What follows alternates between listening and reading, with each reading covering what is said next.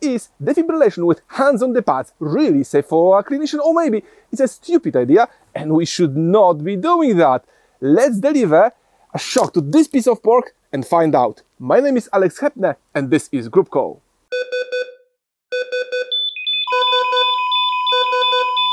The idea to apply manual pressure during defibrillation is nothing new. Back in the days when dinosaurs ruled the earth and we were using paddles to deliver a shock, you had to apply a pressure. Otherwise, there was a huge risk of an electric arch.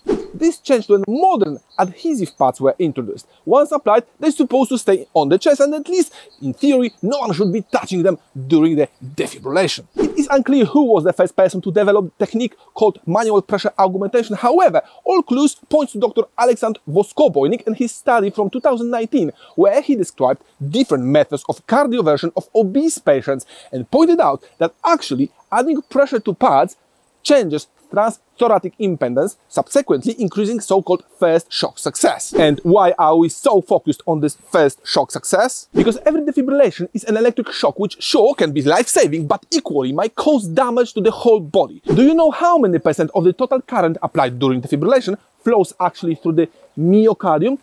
4. 4% goes to the heart, 82% are shunted off by the skeletal muscle layer, and 14% goes to the lungs where some damage occurs on the cellular level. That's why we want to be successful on the first time, because every subsequent shock just creates more damage to the body. You will find out more reading this and this and this study.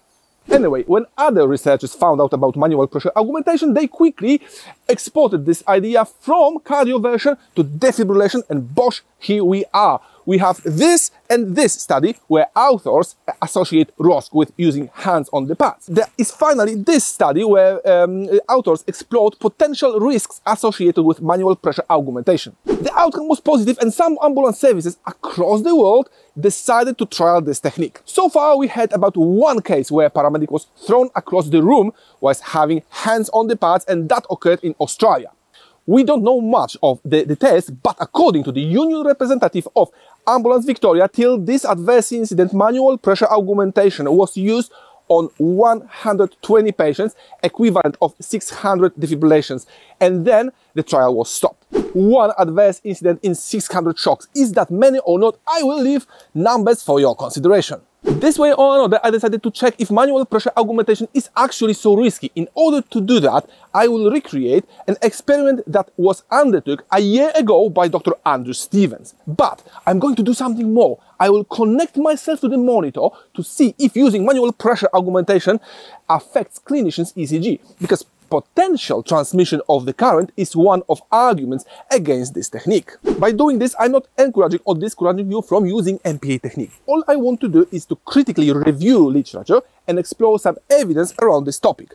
By all means, always follow your local protocols. Dr. Voskoboinik describes two ways of putting hands on the pads. You can either use heel of the palm or clenched fists. I have huge problem with both options. In the first case, you can easily touch the patient with your fingers. And in the second one, as the pressure is applied to the uh, center of the electrode, the edges can slightly peel off, which may contribute to so-called electric arch. And yes, I know that the risk in both cases is minimal and the use of gloves significantly increases safety, but I'm still not entirely sure if I can recommend any of the described techniques. After a moment of hesitation, I'm choosing to use my face protected by the nitrile gloves. Shock delivered. I didn't feel anything and let's see, my own ECG was not affected at all. Now let's try the same but with wet hands and no PPE. Again, all good. For more interesting hints regarding defibrillation safety, especially defibrillation on wet and metal surface, watch my video where I defibrillated chicken, recreating another famous experiment. My name is Alex Hepner and this was Group Call.